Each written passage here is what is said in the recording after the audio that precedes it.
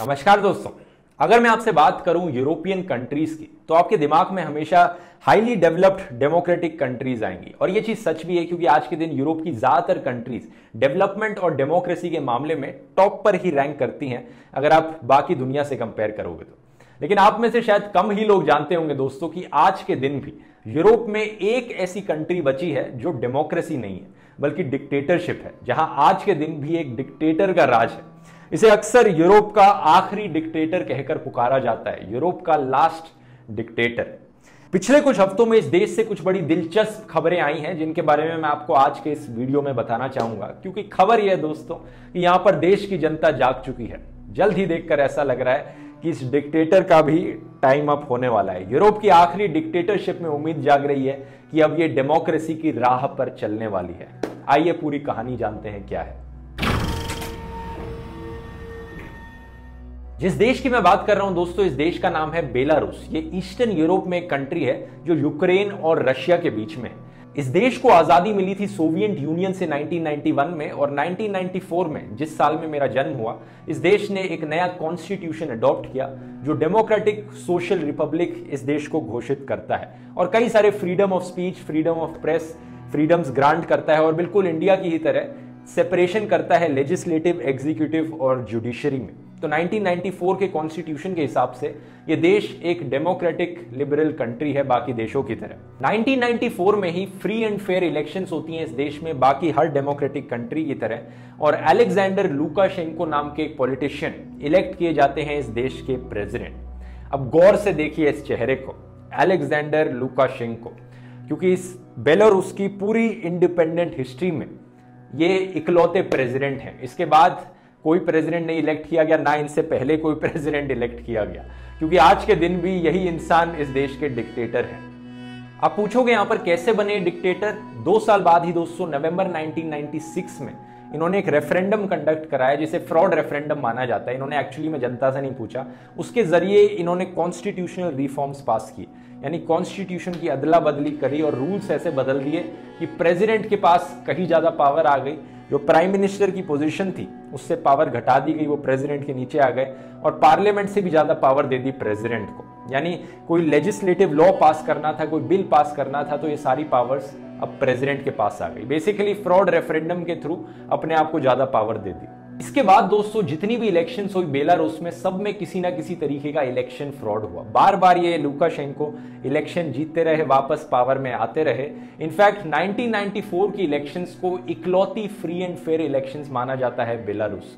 बाकी सारी इलेक्शंस में किसी ना किसी तरीके का इलेक्शन फ्रॉड हुआ। मैं शॉर्ट में बताता हूँ दोस्तों, इनका शासन कैसा रहा था पिछले 26 सालों में? बेलारूस एज ए कंट्री की क्या डेवलपमेंट हुई पिछले 26 सालों में? इकोनॉमी की बात करें तो इकोनॉमी पर एक बहुत स्ट्रिक्ट कंट्रोल था इनकी सरकार का। ज़्यादा ओपन अप नहीं की गई इकोनॉमी, प्राइवेट सेक्टर एक बहुत छोटा रोल प्ले करता है। सिर्फ़ 20 से 30 परसेंट जीडीपी ही प्राइवेट सेक्टर का है और इकोनॉमिकली बेलारूस बहुत ज़्यादा डिपेंडेंट है रशिया पर। स्ट्रॉन्ग रिलेशन है इनके रशिया के साथ और बेलारूस की पूरी इकोनॉमी कह सकते हो रशिया के सपोर्ट पर चलती है बेसिकली ऑलमोस्ट हर तानाशाह की तरह लुकाशेंको ने भी अपने देश को एक से बढ़कर एक इकोनॉमिक क्राइसिस में गिराया है। फॉर एग्ज़ाम्पल 2011 में बेलारूस में इन्फ्लेशन थी 109 परसेंट पर इनकी फाइनेंशियल मिसमैनेजमेंट की वजह से। 2016 के आसपास इनका जीडीपी ग्रोथ रेट नेगेटिव में चल रहा था और अनएम्प्लॉयमेंट की बहुत भारी प्रॉब्लम है आज के दिन भी बेलारूस में। और बाकी और एस्पेक्ट से भी इस देश की बहुत बुरी हालत है। लुकाशेंको ने ऑलमोस्ट टोटल मीडिया पर कंट्रोल जमा रखा है अपना। इनफैक्ट मीमो 98 एक मीडिया मॉनिटरिंग कंपनी है। उसने बताया था कि मई और जून के महीने में इस साल इनकी जो मीडिया है, उसने 97 परसेंट कवरेज दी इनके प्रेसिडेंट लुकाशेंको को और बाकी ऑपोजिशन पार्टियों के लीडर्स को सिर्फ़ 30 सेकंड्स की कवरेज मिली। डिक्टेटर लुकाशेंको किसी भी तरह का क्रिटिसिज्म बर्दाश्त नहीं कर सकता, क्योंकि एक बार एक ऑपोजिशन का प्रोटेस्ट हो रहा था तो ओपनली इन्होंने फेमसली अपनी स्पीच में कहा था कि जो जो इंसान ऑपोजिशन के प्रोटेस्ट में जाएगा, उसे टेररिस्ट की तरह ट्रीट किया जाएगा। ये अपने आप को बहुत नेशनलिस्ट दिखाते हैं और ऑपोजिशन लीडर्स को बार बार इनका मीडिया कहीं पर फॉरेन एजेंट्स की तरह घोषित करता है तो कहीं पर टेररिस्ट का टैग लगाता है। 2010 के बाद से कई लोगों ने लुकाशेंको के खिलाफ खड़े होने की कोशिश करी इलेक्शंस में, लेकिन जो जो ऑपोजिशन में इनके खड़े हुए, या तो उन्हें जेल में डाल दिया गया किसी बहाने से, या फिर उन्हें देश छोड़कर जाना पड़ा। 2020 में जब कोविड 19 की क्राइसिस आई दोस्तों, मैं कहूँगा कि पूरी दुनिया भर में किसी भी कंट्री के लीडर ने जो सबसे स्टूपिड स्टेटमेंट दी हो कोरोना वायरस को लेकर, वो लूका शेंको ने दिया। इन भाई साहब ने कहा कि क्या है ये वायरस वायरस इससे कोई डरने की ज़रूरत नहीं। बस वोडका पियो और सोना में जाओ, सोना में और आपका वायरस ठीक हो जाएगा। ये इनका कहना था कि लिटरली वोडका पीने से वायरस ठीक हो जाएगा।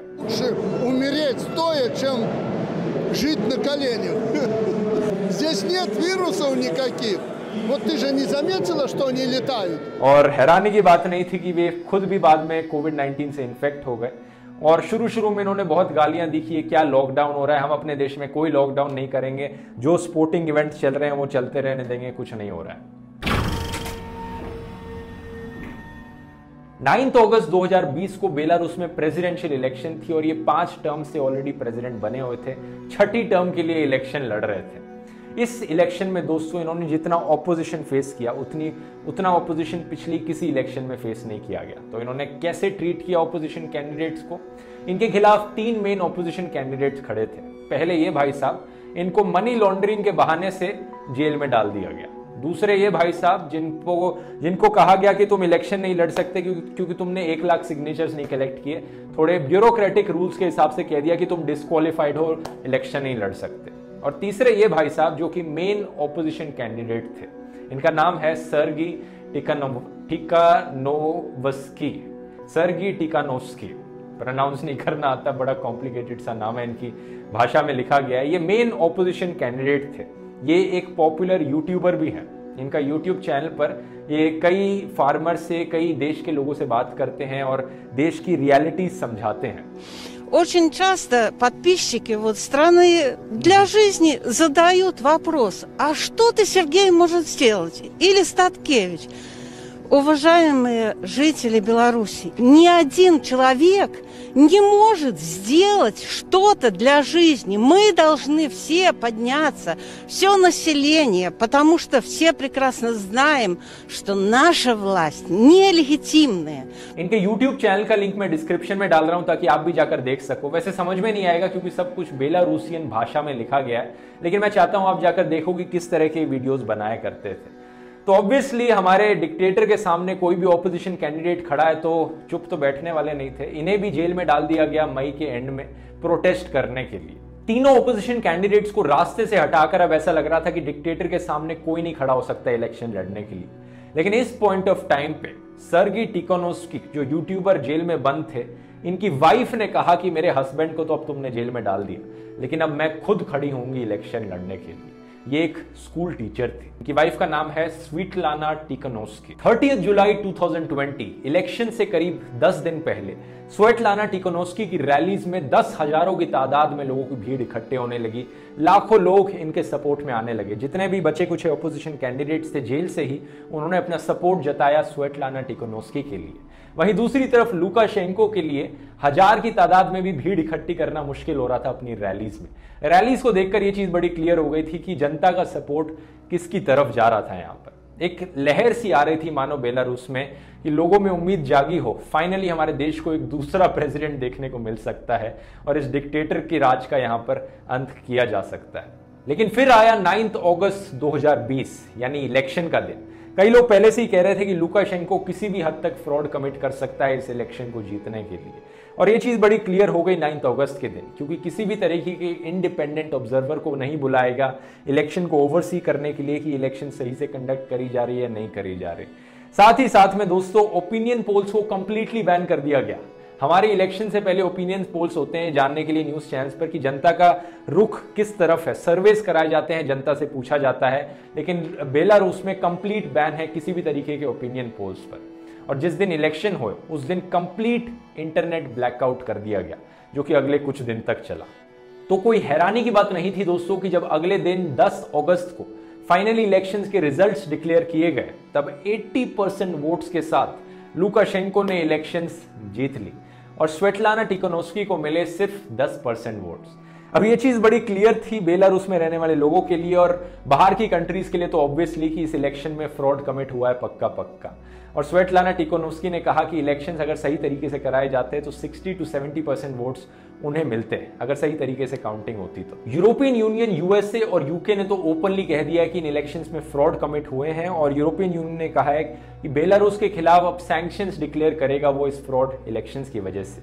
ये बेलारूस के इतिहास में दोस्तों पहला ऐसा वोटर टर्नआउट था, जिसमें इतनी तादाद में लोग वोट देने आए थे कि लाइनों में खड़े होना पड़ा था उन्हें घंटों तक। इससे पहले जो भी इलेक्शंस हुए थे, उसमें वोटर टर्नआउट काफ़ी कम रहे थे। इलेक्शन रिजल्ट्स डिक्लेयर होने के घंटों बाद ही टिकानोस की देश छोड़कर चली गई एक नेबरिंग कंट्री लिथुएनिया में, जहाँ उन्होंने जाकर प्रेस कॉन्फ्रेंस में कहा कि उनकी जान के लिए खतरा है और उन्हें अपने बच्चों की चिंता है, क्योंकि वो ये सब नहीं चाहती थी कि पॉलिटिकल रैलीज करे पॉलिटिकल कैंपेन्स करे। उन्होंने सिर्फ़ ये इसलिए डिसीज़न लिया ताकि, क्योंकि उनके हस्बैंड जेल में बंद थे। और एक बहुत डिफ़िकल्ट डिसीज़न उन्होंने लिया कि वो अपने बच्चों के लिए देश छोड़कर अब लिथुएनिया में चली गई हैं।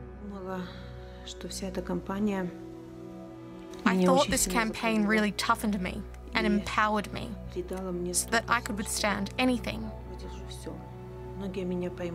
Many will understand me, many will denounce me, and many will hate me. But God forbid anyone should face the choice that I faced. लेकिन इस टाइम तक देश की जनता ने तय कर लिया था, बस बहुत हुआ और नहीं सहा जाता। और ऐसे शुरुआत हुई दोस्तों 2020 के बेलारूसियन प्रोटेस्ट की, जिसे अक्सर नाम दिया जाता है एंटी कॉकरोच रेवोल्यूशन या फिर स्लिपर रेवोल्यूशन यानी चपलों की रेवोल्यूशन ये नाम इसलिए दोस्तों क्योंकि टीकन ओसफी के हस्बैंड जो हैं, जो यूट्यूबर हैं, उन्होंने अपने डिक्टेटर को काफ़ी बारी कंपेयर किया था एक कॉकरोच से। उन्होंने कहा, जैसे हम कॉकरोचों को चप्पलों से चप्पल मार के घर से बाहर निकालते हैं, ऐसे ही हमें लूका शेंको को चप्पलें मारकर देश से बाहर निकालना होगा।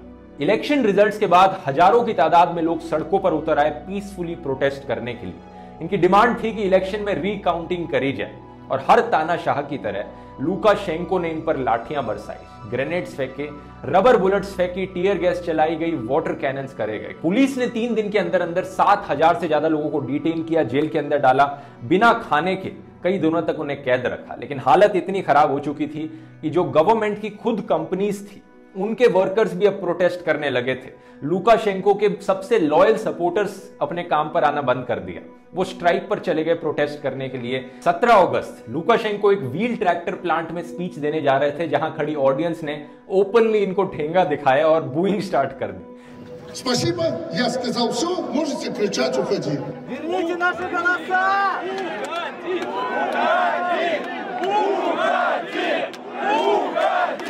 गुस्से में आकर लूका शेंको ने कहा कि अगर तुम लोगों को एक और इलेक्शन चाहिए तो पहले मुझे मारना पड़ेगा। जब तक मेर, मैं ज़िंदा हूँ, तब तक देश में कोई और इलेक्शंस नहीं होने वाली है। बड़ी फनी चीज़ है एक डिक्टेटर के लिए कहना, क्योंकि इतिहास गवाह है कि कभी भी डिक्टेटर जब ऐसे खड़ा हुआ है तो जनता पीसफुली ज़्यादा रिएक्ट करती नहीं है। लेकिन बेलारूस की जनता ने बहुत पीसफुल प्रोटेस्ट किए, और किसी ने खड़े होकर डिक्टेटर की जान नहीं ली अभी तक। बेलारूस की सड़कों पर प्रोटेस्ट आज के दिन भी जारी हैं। इनका जो बिकाऊ मीडिया था, जो लुकाशेंको के फेवर में प्रोपोगेंडा फैलाता था, वहाँ से भी इंप्लॉयज ने रिजाइन करना शुरू कर दिया है। वहाँ पर भी वर्कर्स स्ट्राइक पर चले गए हैं। लेकिन लुकाशेंको को बचाने रशिया आया यहाँ पर।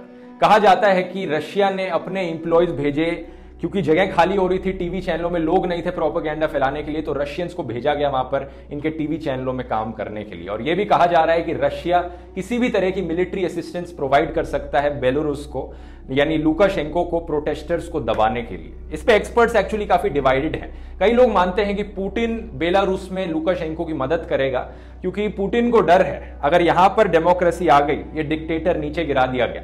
तो अगली बारी आएगी रशिया की। रशिया में भी लोग और मोटिवेट होंगे इंस्पायर होंगे इससे और अगली बारी पुटिन को रास्ते से हटा देंगे। लेकिन दूसरी तरफ़ पुटिन इस बात से भी केयरफुल है कि मैं लुकाशेंको की ज़्यादा मदद ना करूँ, क्योंकि फिर बेलारूस की सारी जनता पुटिन के अगेंस्ट भी हो जाएगी। अभी क्लियर नहीं है कि यहाँ पर क्या होगा लुकाशेंको की मदद करने कौन आएगा, कौन नहीं आएगा, लेकिन दोनों तरफ़ से पेशेंस टेस्ट आउट किया जा रहा है। प्रोटेस्ट भी जारी है लुकाशेंको कोई और एक्शन नहीं ले रहे हैं। बड़ा दिलचस्प होगा देखना आगे होता क्या है। चलिए मिलते हैं फिर अगले वीडियो में दोस्तों। बहुत बहुत धन्यवाद।